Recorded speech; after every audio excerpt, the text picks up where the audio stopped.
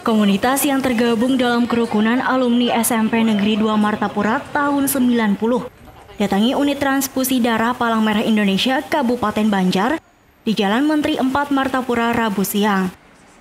Organisasi ini menggelar aksi sosial dengan mendonorkan darah mereka guna pemenuhan stok darah yang ada di UTD PMI Kabupaten Banjar yang sempat dikabarkan mengalami kekurangan. Sebelumnya, kerukunan ini mengagendakan peringatan hari jadi mereka yang kedua di bulan April ini. Namun imbauan jaga jarak dan menghindari berkumpulnya orang banyak terkait mewabahnya COVID-19, bakti sosial donor darah ini pun digelar untuk kemanusiaan.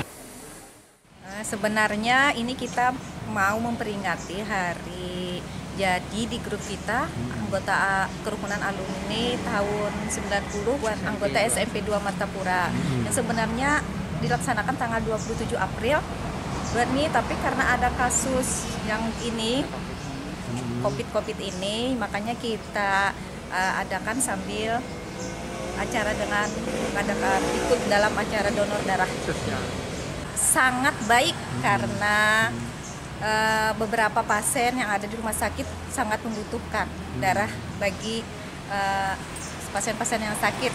Tidaknya kan kata orang setitik darah pun akan menyelamatkan orang bagi yang memerlukan.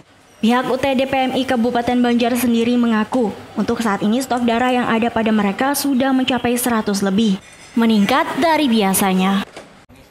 Selain itu, promosi lewat media sosial juga efektif untuk memberikan pemahaman kepada masyarakat.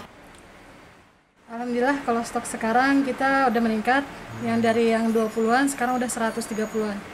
Itu ya. Ah, untuk beberapa hari ini.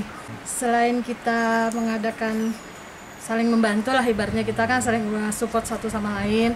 Terus lagi kita di sosmed itu kan kita jelaskan uh, himbauan, kita menghimbau kepada masyarakat agar mendonorkan darah jangan takut karena kan kebanyakan orang takut untuk yang wabah COVID-19 ini. Tapi kan kita kan di sini APD juga sudah lengkap.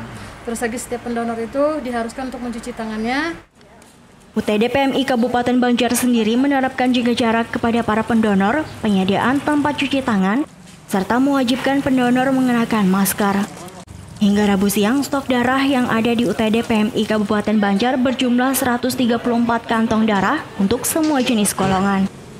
Dari Kabupaten Banjar, Kalimantan Selatan, Jenny Hamidi, Banwatv.com melaporkan. 20 detik cegah penyebaran COVID-19. Cuci tangan pakai sabun dan air mengalir, gunakan masker bila sedang batuk, jaga kesehatan dengan rajin olahraga dan konsumsi buah serta sayur, hindari kontak fisik dan jaga jarak minimal 1 meter. Hindari keramaian dan kumpul-kumpul. Jika ditemukan gejala batuk, suhu tubuh panas dan sesak napas, segera ke fasilitas kesehatan.